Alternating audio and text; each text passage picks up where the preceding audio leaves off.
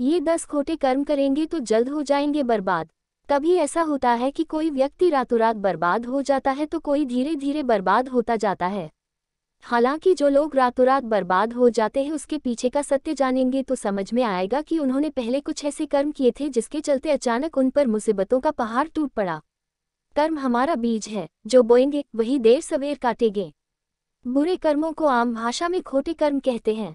हम अपनी ज़िंदगी में जाने अनजाने ऐसा काम करने रहते हैं जिसके दुष्परिणाम बाद में निकलते हैं या कभी भी अचानक से सामने आ जाते हैं। तो आओ जानते हैं कि ऐसा कौन से कार्य है जिसके चलते आपको बाद में पछताने का मौका भी नहीं मिलता है। जिन्होंने पूरी ज़िंदगी खोटे कर्म किए हैं, उन्हें यम के भयानक दूध दिखाई देते हैं। वन, भोजन। बासी, भोजन करना। दक्षिण दिशा में मुँह करके खाना। भोजन के दौरान और बाद में पानी पीना। थाली में ही हाथ धोना। भोजन की नींदा करना। टूटी हुई थाली में भोजन करना आदि ऐसे कई काम हैं जो आपको गंभीर रोग और शोक में धकेल सकते हैं। इसके अलावा अधिकतर समय अकेले ही भोजन करना, भोजन करते करते उठकर दूसरा काम करना और फिर से भोजन करने लगना। खाने में नमक कम है, तीखा ज़्यादा है या फिर अच्छा ही नहीं बना आदि कमियाँ निकालना भी उचित नहीं है इसके। उपरोक्त नियमों का पालन नहीं करने से बवासीर, कब्ज, कैंसर और अल्सर जैसे रोग तो होते ही है, साथ ही व्यक्ति के घर की बरकत भी चली जाती है। नींद आप जितना जागते हैं उतना ही सोएँ। आप कम सोते और ज़्यादा जागते हैं तो संतुलन बिगड़ता है। हालाँकि यदि आप प्रातःकाल जल्दी उठकर कसरत करते हैं तो आपके लिए चार घंटे की नींद ही पर्याप्त है। नींद का गणित समझे बगैर देर तक जागना आपकी सेहत के लिए खतरनाक हो सकता है। लेकिन इससे भी ज़रूरी कुछ है। टूटे हुए पलंग पर सोने, पैर पर पैर रखकर सोने या दक्षिण दिशा में पैर करके सोने से आपकी उम्र ही नहीं, आपके भविष्य पर भी दुष्प्रभाव पड़ता है। इसके अलावा न पैर धोए स्तर पर जाना और देर रात तक जगना उम्र को घटाता है। सूर्योदय और सूर्यास्त के समय सोना शरीर को रोगी बनाता है और उम्र को कम करता है। इसी तरह भारतीय वास्तुशास्त्र के अनुसार द्वार के सामने पाँव करके भी नहीं सोना चाहिए। केश कर्तन, मंगल और वार के न बाल कटवाना, बाल कटवाने के बाद स्नान नहीं करना, घर में ही बाल काट लेना लंबी दाढ़ी और बाल रखना, बालों में नियमित तेल नहीं लगाना, बाल नोचना, बाल हाथों से ही तोड़ना आदि ऐसे कई खोटे लक्षण हैं जिससे उम्र कम होती है। अक्सर लोग चंदन का लेप चेहरे पर लगाती हैं, लेकिन यदि यही लेप आप बिना स्नान से पहले लगाते हैं तो इससे आपकी ज़िंदगी के कई साल कम हो जाते हैं। यदि बालों पर तेल लगाने के बाद वही हाथ हमारे किसी भी अन्य शारीरिक अंग को छू ले तो ऐसे में हमारी उम्र कम हो जाती है। वस्त्र अक्सर लोग रात में अपने वस्त्र धोकर बाहर सूखने के लिए डाल देने हैं, जो कि वास्तु के नियमों के विरुद्ध है। इससे व्यक्ति को रोग तो उत्पन्न होते ही है, दूसरी ओर सुबह सूखने वाले कपड़े पहनने से उसे अचानक विपत्ति का सामना भी करना पड़ सकता है। हालाँकि इसमें से पहली बात को तो माना ही जा सकता है।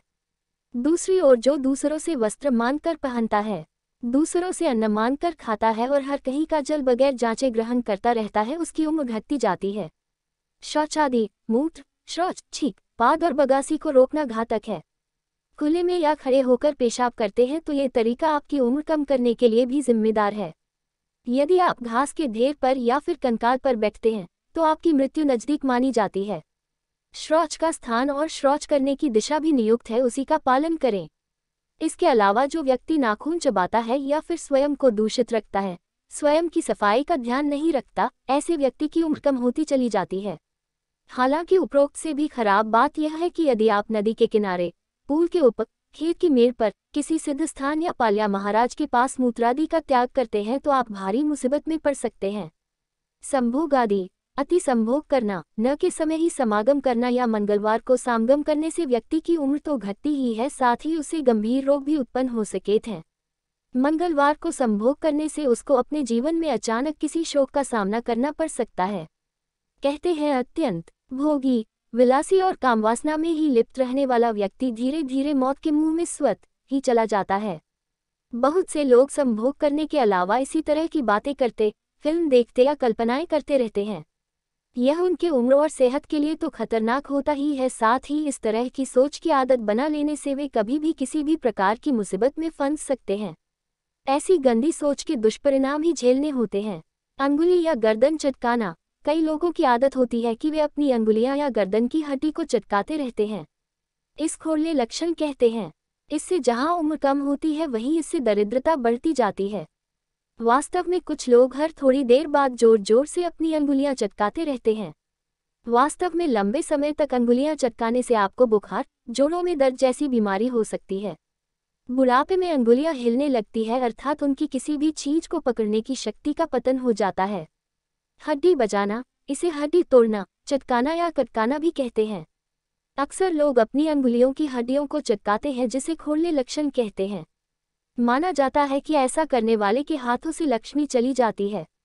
अब लक्ष्मी जाती है या नहीं, ये तो नहीं मालूम, लेकिन कई लोगों को अपने शरीर के हर जगह की हड्डी चटकाने की आदत होती है, जिसके चलते एक दिन सभी जॉइंट ढीले पड़ जाते हैं और बुढ़ापे में उसकी शक्ति कम हो जाती है। फिर हाथों की अंगुलियों से चाय का कप पकड़ने पर वह हिलेगा। नशा करना, किसी भी प्रकार का नशा करने से सुख, समृद्धि और सेहत सभी एक समय बाद नष्ट हो जाती है। आप कितने ही धनवान हो, लेकिन यदि आप लगातार नशा कर रहे हैं तो निश्चित ही इससे आपके कुल परिवार का बिखराव होता जाएगा। आपकी प्रतिष्ठा धूमिल हो जाएगी। ऐसा कई उदाहरण आपको मिल जाएँगे, जिनके पास सब कुछ था, लेकिन वे बर्बाद हो गए। कई लोगों को देखा गया है कि मोकेझोके पर जंगल में या खुले आकाश के नीचे कहीं भी सुनसान इलाके में वे शराब पीने के लिए इकट्ठे होते हैं। उनकी ये आदत कभी भी भारी पड़ सकती है। इसके जब दुष्परिणाम निकलते हैं तब समझ में आती है। ज्योतिष अनुसार ऐसे स्थानों पर भोजनादि करने से राहु और केतु का प्रकोप बढ़ जाता है तो वास्तु के अनुसार बरकत चली जाती है। लेकिन एक मान्यता अनुसार भूत प्रेत सक्रिय होकर आपके जीवन में तूफ़ान खड़ा कर देते हैं। होली, रंगमंचमी आदि कुछ त्योहारों पर लोग शराब पीते हैं। ये भी देखा गया है कि नवरात्रि और दीपावली के पवित्र दिनों भी लोग अब पीने लगे हैं, जो कि पापकर्म के समान ही है। पीने के लिए आपके पास और भी दिन हो सकते हैं, लेकिन पर्व, त्योहार और व्रतों के दिन पीने के परिणाम भी भुगतने होते हैं। तांत्रिक या वाम कर्म, ऐसा कई लोग हैं तो जल्दी सफलता पाने या किसी को प्रभावित करने के लिए तंत्र आदि का सहारा लेते हैं। वे किसी तांत्रिक या पीर फकीर के यहाँ जाते हैं। ऐसा लोग बाद में अपने किए पर पछताते हैं। तुलसीदास जी ने रामचरित मानस में लिखा है कि यह सभी कुलमार्गी, तांत्रिक, अघोर, बाबा आदि है जो धर्म विरुद्ध हैं। कौल या वाम का अर्थ ये कि जो व्यक्ति पूरी दुनिया से उल्टा चले, जो संसार की हर बात के पीछे नकारात्मकता खोज ले और जो नियमों, परंपराओं और लोक व्यवहार का घोर विरोधी हो, वह वाम मार्गी है। ऐसा काम करने वाले लोग समाज को दूषित ही करते हैं। ये लोग उस मुर्दे के समान है जिसके संपर्क में आने पर कोई भी मुर्दा बन जाता है। वामपंथ देश, समाज और धर्म के लिए घातक है। सीटी बजाने का मतलब संकट को बुलाना, ऐसा कहते हैं कि घर में या रात में सीटी नहीं बजाना चाहिए। इससे एक और जहाँ धन की हानि होती है, वहीं आप किसी अनजान संकट को भी बुलावा देने हैं। ये भी माना जाता है कि रात में सीटी बजाने से बुरी आत्माएँ सक्रिय हो जाती हैं। हालाँकि यह धारणा जापान से भारत में प्रचलित हो गई है। भारत में रात में सीटी बजाना अशुभ एवं सांप को बुलाने वाला माना जाता है। कुछ लोग ये भी मानते हैं कि सीटी बजाने से भैरव और शनिदेव रुष्ट हो जाते हैं।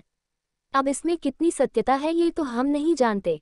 अगर आपको यह वीडियो अच्छा लगा तो वीडियो को लाइक करें और चैनल को सब्सक्राइब करें। धन्यवाद।